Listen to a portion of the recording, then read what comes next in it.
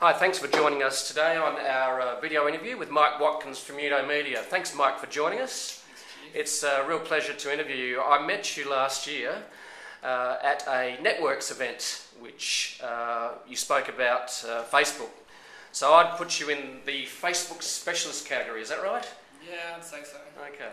So, Mike, tell me a little bit about yourself and Mudo Media. So, it's a rather interesting tale. So, uh, just tell our uh, viewers uh, what led you to start we Media. Well, uh, I guess about me, firstly, um, I'm really interested in people and how people interact with one another and how they consume information and how that process has sort of evolved over the last five years. Yep. So, how Mudo started was when I was 18, I left high school. Right. Okay. Um, didn't know what I wanted to do. Didn't Yep. want to go to uni and spend 20k on a degree I didn't know I was going to use, basically. So I went travelling for about about six months to a year when I was about 19. Mhm. Went to the States, Europe, everywhere like that. And during that time, I met a lot of solo travellers. Yep. I was a solo traveller myself, so I was linking up with solo travellers along the way. And whilst I was doing that, I thought I'd go online and try and find a website that did something similar. So I linked up solo travellers based on where they were from and where they were going. Turned out there wasn't one, um, so I went back home, wrote a business plan on the plane going back, built a website for around 10 grand called findatraveller.com. This was in 2005, early 2005. Is that still running? No, Okay. it was actually brought out two years after I launched it. Right. Um, and what that did was linked up solo travellers around the world based on where you were going um, and what times. Right. So that was my first sort of foray into, I guess, social media. Um, before even social media was a word. Um, after I'd sold it, I sold it privately to a travel holdings company who essentially um, took the database and repurposed it into their own product. Right. So Find a Traveller, the brand from that point didn't exist from that point on. Um, I lived in Christchurch, so after I sold that, I moved to Sydney Mhm. and built another website called Gunnago, built a business plan around it. Sorry, um, and actually got an investor on board for about 150 grand. Wow. Okay. It's about two years ago, Yep. um, and started developing that. During that time, I met a lot of people in the travel space who were interested in what we were doing with the Gunnago, the website, the Yep. travel website, the second generation one. And I got a lot of offers to come in and do consulting on social media um, through those avenues. And from there, I actually ended up starting to build a business out of consulting through that. So I did Right. work for one person, they told someone else. And social was just getting on people's radar at that time. So What year was that? That would have been probably 2008. So Mudo started off on a napkin probably early 2008, mid 2008, Yep. with one client on a three month contract. And that was just helping them with the Facebook strategy. I think Facebook only would have had 30 or 40 million people at that time. Yeah. Only 30 or 40 million. Only 30 or 40 million. But um, even from that time, I saw the value of Facebook and how powerful it was going to be. Right. I was 100% behind the idea that these guys were on the right track, they had the right people leading it, and they had the right thinking in behind the platform and how it was built. What made you realise how powerful Facebook was? What? Uh, Just the process of not, you know, it's built purely around people as a sort of social utility. It's not a place to go and, um, like MySpace was, it's not a destination for entertainment content mhm. um, or bands specifically, things like that. Facebook was always built around people and allowing them to sort of share and interact with one another in a way more effective way than was previously possible. Right. And that's what Zuckerberg has always said, like, you know, it's a social utility to help people um, connect and share Mhm. things with one another. And I think having that founding principle or vision is what has made it what it is today. with Yeah. Over 600 million people. Yeah. What impressed me when I actually joined in, it was 2008, Yeah. Uh, was the ability when I logged in or registered the first time to connect to people I hadn't seen in 20, Yeah. 25 years from Yeah. when I did my teaching degree. Yeah. It just pulled them up onto the screen. I went, wow. And that's exactly why it's so powerful, Yeah. just for that experience. Like you would have had an emotional connection then Oh, yeah. to several people you haven't seen in so long. Um, and that's really been the only platform to successfully nail, that approach Yeah. online. So it's almost become an ecosystem in its own right. So um, I Well, I must. prefer, yeah, I, I'm 100% behind the idea of Facebook now. It's, it's sort of, it's definitely matured into a mass medium in itself, and I keep coming back to that sort of train of thought when Right. talking to clients and stuff. Right. Okay. Question is, what, what's been your biggest challenge with Mudo Media and uh, consulting and doing strategy? It's selling value. Right. Um, I know how valuable it is, and I know how valuable the platform is in terms of being able to push marketing messages to um, consumers. Um, like Pages is one way of doing it, but I think the overall idea of Facebook being that consumers have to opt in to receive messages from brands, that's huge. hmm So we're now not, you know, creating messages in a broadcast type medium like radio or TV or newspaper. We're, we're hoping people will see it. Like we're hoping people that are interested in our brand or our, our service will see it and then act on it. So it minimises the span. Totally. And it, minim- it, it improves the quality of your audience. Like, It's opt-in. Is that what you Yeah, mean? yeah. so on Facebook you might have, you know, a community of 150,000 people around your brand or say 40,000 people around your brand through a page. All of those people will want to hear from you. All of those people want to be associated with you. That's what they're doing when they're liking your brand, they're endorsing your product or your service. Yeah. Um, so any message you send out to them, provided you do it properly, is likely to be received Yeah. more effectively than other mass media in the past. So when you're saying the biggest challenge you faced is actually selling the value of Facebook, is one of those obstacles selling that value is that it's seen as a plaything, as uh, Yeah, I mean, something that's sort of uh, it's not a proper business tool. That's the fascinating thing about us guess being involved with Facebook marketing for about three years now and evolving with the platform in terms of um, marketing and how we sold it. Initially, when we started, it was seen as a plaything. It's just another social platform. What about MySpace? You know, Facebook's killed MySpace. Now, what's going to come and fill- kill Facebook? That's been the catch cry for about a year and a, you know, over the past three years, maybe the past two and a half years. That's what Yep. everyone's gone against. But now we're seeing a bigger push, I guess, in a positive way.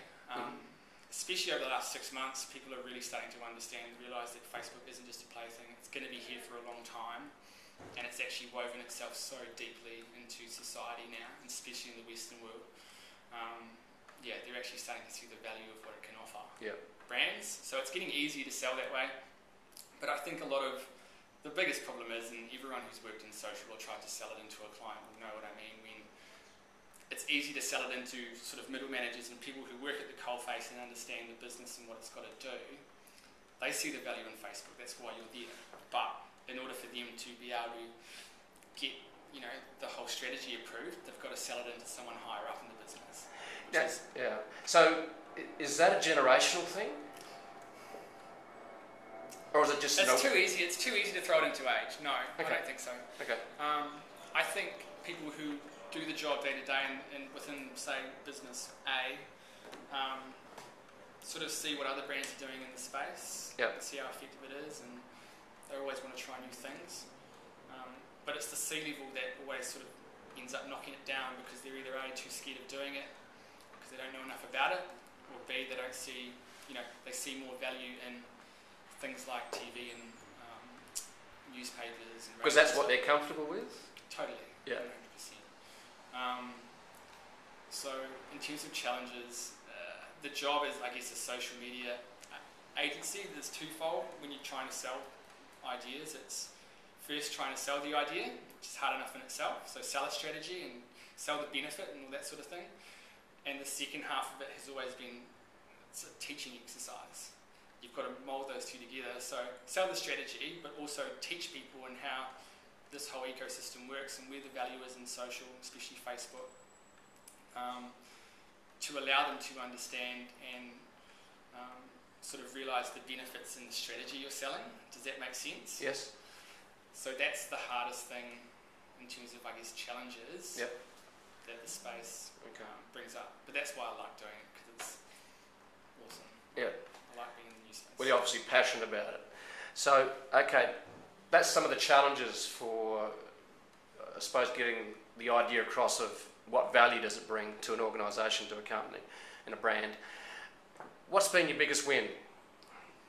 Um, I guess anyone who knows me well or knows Mudo would know it's it's got to be Supre. Um, Tell us about Supre. Well, Supre's got 140 stores across Australia, and New Zealand. They're a tween yeah, Yeah. retailer, like everyone knows. Yeah. But what we did was um, And Supre, what, what, so they're a retailer, what uh, business are they in? uh, tween, like the tween market. So In fashion? yeah, Yeah. sorry. Yep. So teen girls, fashion age maybe 13 to 24. Yep. Um, and what we did was we consulted to them probably late, um, sort of mid 2008. Um, and I rang the brand manager and said, What are you doing on Facebook? And she said, Oh, nothing, we've just invested a lot of money in MySpace.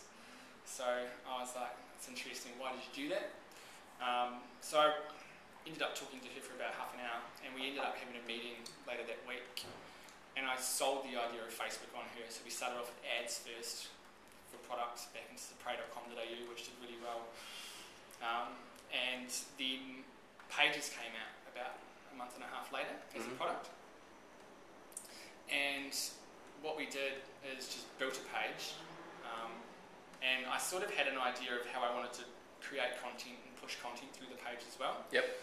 So we ended up writing sort of content rosters and developing strategy around how we would create content collaboratively, collaboratively between Supre and sort of Mudo, hmm um, and then how we would feed that through the page itself.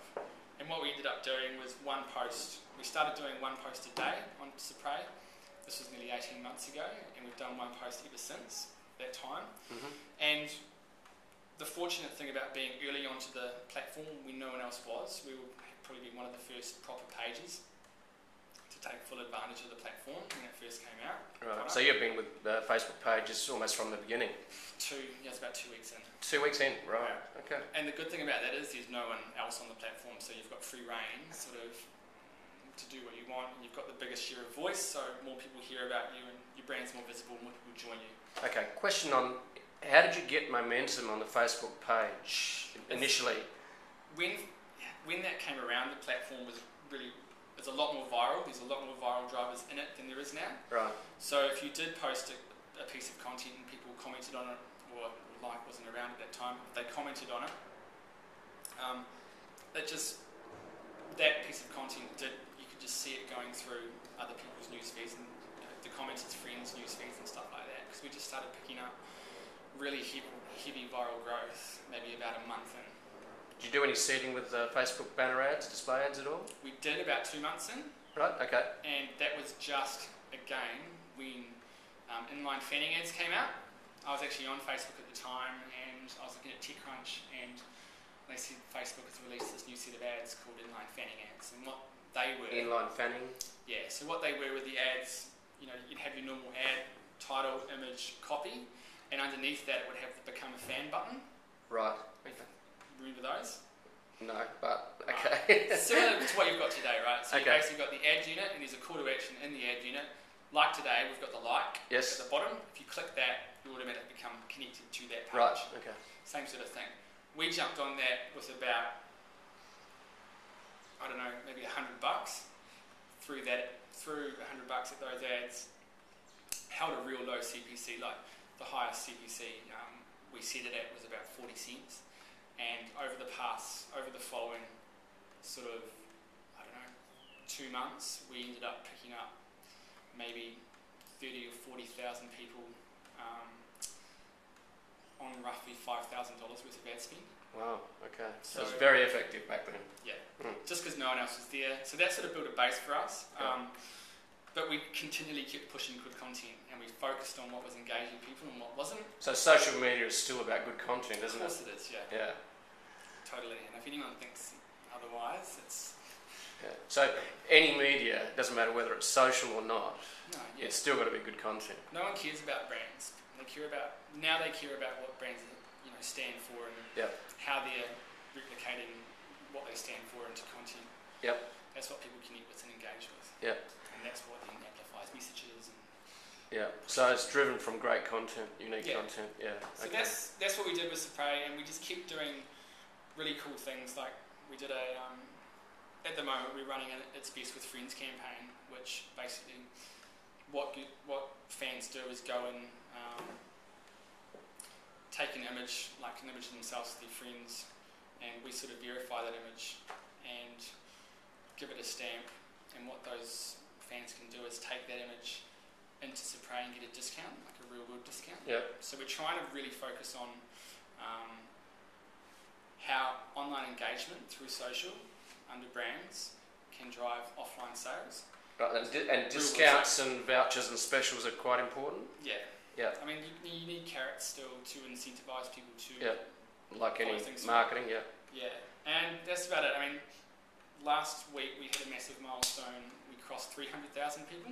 Wow. Okay. So 300,000 people for one brand, which is sort of specifically focused in a narrow-ish market, is really, really, really cool. Yeah.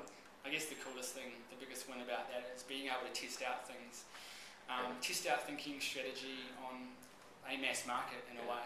I've noticed that on the Supre page, you actually can get fans to select one of two different fashion items and say which one do you prefer. So instantly you're doing like research on the fly Correct. Yeah. in real time. Yeah. Yeah. And we actually do use that. Um, we've built it into Supre's sort of business model in a way. Um, so those items that we put up aren't necessarily available at the time. They're Yeah. in production, um, and you know designers are mocking them up and working with them, and they're about to go into production. So what doing this market research sort of update posts allow us to do is find out which ones, which one the market likes the most versus which one they don't, and that then feeds into how much, how many units Supre makes of each item. So Right. obviously the one they like, fans like more will be produced more. Yep. The one they like less will have less produced, and Yep. sort of having a marketed impact over a sort of overall sales, but also um, sort of wastage, I guess, on overstocks. Yep. Overstock of um, items. So, yeah, I mean, you touched on a really good point. Facebook is, we've developed a whole lot of ways to really engineer updates to produce the most amount of engagement possible. I think that's really important, and not enough people focus on that. Yeah. There's a real science and art behind it, and a lot of people might think that's a whole lot of bull, Yeah. but it's actually true. And I think the overall focus for anyone who wants to be serious on Facebook has to be about maximising engagement because that's what feeds messages out, um, and then that's what amplifies brand awareness and everything else with the platform. From people sharing. Mm. Okay. Through deep engagement. Okay. Where do you see Facebook going in the future? I know that uh, we've had a chat in the past about uh, Facebook and um, F-commerce is one term that's been starting to be bandied about recently. Yeah. Where do you see Facebook going in the future? The major trends and uh, and basically, you know, F-commerce or um, stores online within Facebook itself. Okay, so the first question, where is Facebook going Yes, in the next yeah. five years? Yeah. Um, like I said earlier, Facebook's a mass medium now in my mind, so it's, it's just reached a point, you know, 600 million people, it's sort of taken over the Western world in a way. Yep. Um, and fundamentally, what it's done is taken the real world, especially in a Western sense, and put all those people, all those connections, all the information about those people, and put it online into a digital platform. I think it's as simple as that. Right. It's massive. So the future is going to be, I think, you know, smart brands and um, businesses are going to realise that and sort of view Facebook as the sort of underlying social layer for the entire internet, not just a website. People who still view Facebook as a website, you know, as a tack onto a, a marketing strategy or something like that, are Yeah. missing out. And I think the next wave of um, how people use the platform is going to be um, building, say, microsites and stuff like that that have brand's own branding. They can build their own sort of environment on the internet um, and their own sort of you know functionality and experience. But instead of getting people to sign up through a manual sign up process to that community, the, like they've had to do in the past, you know, like names, first name, surname, email address, date of birth, all that sort of stuff, to actually get into it as a user, people are just going to tack on, you know, this Facebook Connect functionality, so they sign in with Facebook. Then all of a sudden, that person's within that microsite. You know, they're obviously themselves, so there's authenticity there now. Um, and the amount of information applications or you know these microsites have the potential to get around people, around you and me. Like they know who my friends are if they want. They can know what I'm interested in. They can access my photos. They can find out so much deep, sort of rich information about me Mhm. that if they do it, if they build an app, like a platform properly or a microsite properly, they can turn the experience from a generic one, which it has been in the past. So you Yeah. go there, nothing really changes when you go there. Yeah. It's not about you, it's about the brand and you interacting with the brand in a way. It's quite static. Um, I think it will change to a completely personalised experience. So Serving up personal information Yeah. that is targeted and delivers what people want. Yeah, Yeah. I mean, so I go there and I think, well, this has been sort of built around me. It's you know, I'm getting information that I'm interested in, not stuff that I'm, you know, I'm vaguely interested in. If that makes sense. Um, and I think personalising that experience is going to be a massive theme Right. um, in the future, and that's only been possible now. Like everyone talks about personalising experience, and they have done for years, but it's only personal now on a mass level because Facebook's gotten so big, and um, they've just got so much information about consumers. Right. Um, it's only realistically now um, possible.